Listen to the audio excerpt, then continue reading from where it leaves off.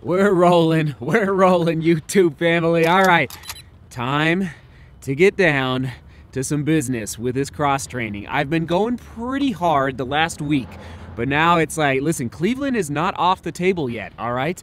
I, I just don't know. We will, I'm just being patient, listening to the body. I, I'm not calling it yet, all right? And I, okay, I've got a couple updates for you. Basically, the foot is feeling okay is the category I'm putting it in. Now, I'm not testing it. Obviously, you don't want to test your foot or any injury when you're healing because that can slow down the healing process or even, uh, frankly, even re-injure it if you're testing it too much. So I'm flexing my foot just a, just a smidge, like especially in the morning when I'm waking up. And anyway, it feels better than a week ago. I will say that much. Uh, so this is good news. And I'm also listening to your comments about the MRI. I just want to update you that uh, basically, I would love to get an MRI at the drop of a hat, but it does. It's not covered by our insurance, and that's why I have not gotten one. And out of pocket, you're looking at 600 to two thousand dollars. And but it's amazing. Somebody here in Denver um, watched the vlog about a week ago and said, "Hey,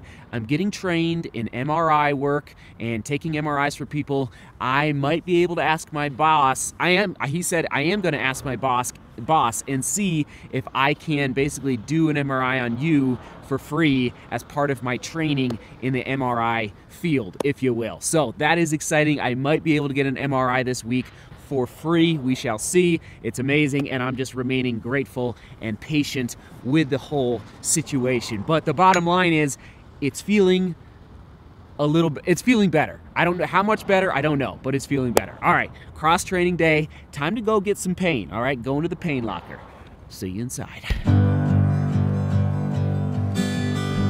Warm up. Oh, it hurts. Oh, it hurts so bad.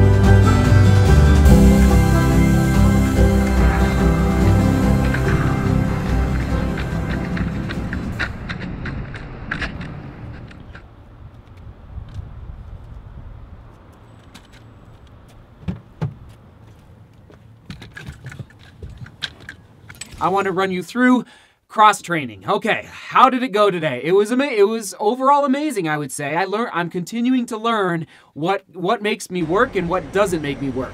Uh, first of all, started off with stretching, and the podiatrist did challenge me. And there's a lot of folks out there suffering right now from plantar fasciitis, and it's rough. It's really rough. I had surgery in college on my PF, uh, but in retrospect, I'm just wondering if I could have stretched my way out of it slowly, like just continuing to be as consistent as possible with stretching. Well, this machine that you see me on right now on the screen, uh, a lot of gyms don't have this machine, but it is kicking my butt. It hurts really bad, but I love it. I love it so bad. I basically do like 10 minutes on the machine it, it, it, it, gets your hamstrings. It gets everything. It gets your uh, a little bit, I guess, in your calf, but it gets your glute, your glutes, your hamstrings, your upper hamstrings. And I think for my PF, I probably should have been more aggressive in college with this stretching machine. So anyway, I'm really dedicating a lot of time to getting more flexible, more loose through my entire kinetic chain, hope, hoping that I can stay healthy moving forward. And that's what the podiatrist wants me to focus on moving forward. All right, so first stretching, then a little bit of upper body. I'm struggling to figure out how to do a lot of upper, like I don't want to get strong and like too big and bulky during this time when I'm not running, but I also want, to anyway, I, when you see me swinging my arms like that, by the way, I'm not trying to work my biceps. Like I don't want to be big uh, in the biceps, but I do want to work on my arm carry so that when basically when my legs are tired late in a race, I want to make sure my arms keep me moving forward. Uh, yeah, so anyway, that's just been my strategy for a long time. And when I'm looking in the mirror doing the exercise in the gym, I'm focusing on the form as well so that I'm nice and straightforward. I'm not crossing the body too much. Like a little bit of cross is okay. Everybody will have a little bit. Um, anyway, so that's what I'm doing with the dumbbells there. And then to the core work. I am already feeling quite a bit stronger in my lower back, especially uh, just doing those Supermans. I've been doing them now for, I don't know, consistently now, you know, in the gym for probably two months, and I'm really feeling like I just have some better posture when I'm just moving around all in all. So anyway, really focusing on the core and then to the stationary bike, uh, an, two hours, I almost said an hour, two hours on the stationary bike today. Um, I try, I posted, uh, posted it on Strava and I have no clue what a good uh, watts is on a bike. I have no clue like what RPMs I should stick to. Basically, I don't make it as hard as possible because I want to keep my legs moving, but it, it's, it was good. It was two hour, a little over two hours and made it like 39 miles. So Anyway, I, in the last 30 minutes, I really focused on hitting it hard, and you saw me there sweating at the end. I feel like I got a good, solid aerobic stimulus. I didn't go anaerobic, that's for sure, but I, a good aerobic stimulus kind of felt like a, a, long run. Right now, my legs do feel a little tired, so that's a good news. And then jumped in the pool for a half hour aqua jog. And again, figuring out what makes that hard and what makes it easy. So today I was doing a little bit of fartlek work, not much, but a little bit, uh, like two minutes on, three minutes off, three minutes on, two minutes off, kind of changing it up in the aqua jogging and then 30 minutes of pool uh, swimming back and forth, back and forth. Uh, somebody in the sauna asked me, so how far did you go? And I was like, I have no clue. No clue. I mean, it's like, I guess you got to count your laps and then multiply it by the length of the pool. So who knows? Like that just, that's just too much for me. I can't, I can't count laps when I'm swimming. I'm like focused on making sure I stay afloat and not drowning, if you know what I mean. So it was a good day in the uh, cross training regimen and we'll go back tomorrow and the next day and the next day and just see about the possible MRI. Uh, True Love and I at uh, date night tonight, we were just kind of working through the different scenarios. If it is a stress fracture, if it's not a stress fracture, and like it, it does impact a lot of different things with respect to travel plans for the family and all sorts of stuff. So um, I'll keep you posted on whether or not that. Obviously, I will film the entire experience and get it uh, get it up on YouTube for all of you. And one last point on the cross training, I used the spin bike instead of the Life Fitness bike. Wow. Huge difference, and it didn't hurt my foot at all, just so you know. But that spin bike is like I was really, I felt like I was really working good. So if you have access to a spin bike, like they, I could tell it's probably pretty pricey uh, stationary bike. So anyway, that was good to discover the spin bike through this whole process. And one last time, Wednesday, May 8th, 7 p.m. Mountain Time will be the next running shoe giveaway here in the studio. We've got a lot of shoes. Last time we did 10 shoes.